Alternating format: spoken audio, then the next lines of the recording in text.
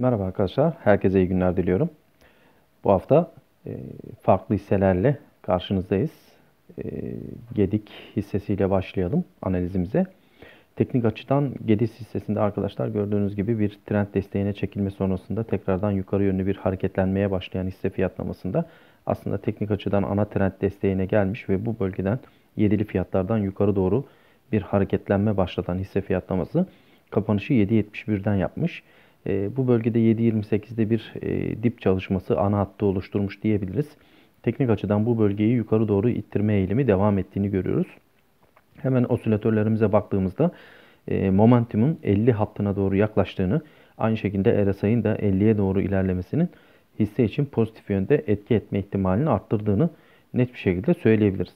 E, yarım günlük cuma günü kapanışında hacim de normal ortalamanın yarısı kadar falan oldu.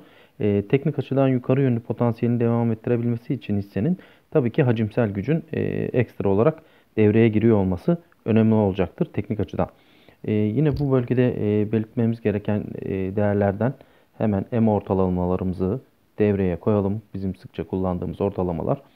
E, üst bölümde gördüğünüz gibi arkadaşlar 8.73 civarında bir e, aylık pivot değeri var. Hisse fiyatlaması tabi bu ay artık bitmiş durumda. E, önümüzdeki ayın pivot değeri de aşağılarda olacaktır. Bu noktalara kadar gidip bir pivot denemesi yapma isteği içerisinde olabilir. Teknik açıdan burayı hisse fiyatlaması eğer tamamlayabilirse ilk etapta tabii ki 8.14 seviyesini geçmesi lazım.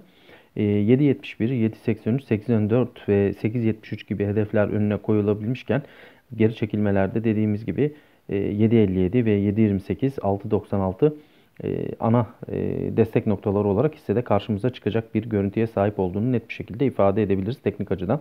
E, şu an için 7.57 üzerinde hissenin kalıcı oluyor olması hisse için potansiyel gücünü koruma anlamına ve tekrar yukarı doğru ilerleme anlamına gelebilir. Önümüzdeki süreçte bakalım nasıl hareketler yapacağını hep beraber izleyerek takip ediyor ve izliyor olacağız. Bu bölgeleri yakın takip ederken e, ana hattın e, işte 7.55 bir önceki zirve üzerinde kalıyor olması, hisse fiyatlamasının yakın zirvesinin üzerinde kalıyor olması hisse için önemli. 7.55, 7.31 bu bölgeler e, geri dönüşlerde e, kırılmaması gereken destekler olarak karşısına çıkmalı diye ifade ettikten sonra hemen hızlıca diğer hissemize geçelim. Garanti yatırım ortaklığı gelmiş.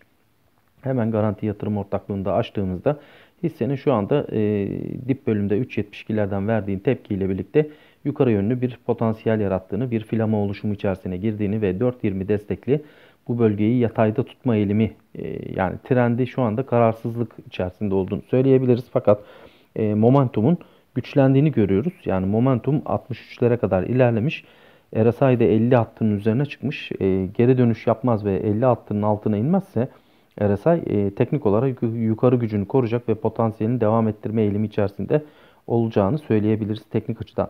Yine bu bölgede hisse fiyatlamasının yukarı doğru hareketlerde gördüğünüz gibi bir 4.60 üzerine deneme yapmış. E, 4.56'da bulunan Tilson değeri e, hisse fiyatlamasını baskı altına almış. Şu an için bir sıkışma alanı 4.22 ile 4.56 arasında bir sıkışma alanında hisse fiyatlaması haftayı 4.35'te kapattığını görüyoruz. Eğer e, 4.22 hattı kırılırsa 3.99 seviyesine kadar geri çekilme e, gözlemlenebilir teknik açıdan. Ama e, baktığımızda osilatörlerin e, güçlü bir şekilde e, 50 hattının üzerine atıyor olması hissede potansiyel olarak bir hareketlenmeye sebep e, verebilecek etki sağlayabileceğini ifade etmiş olalım.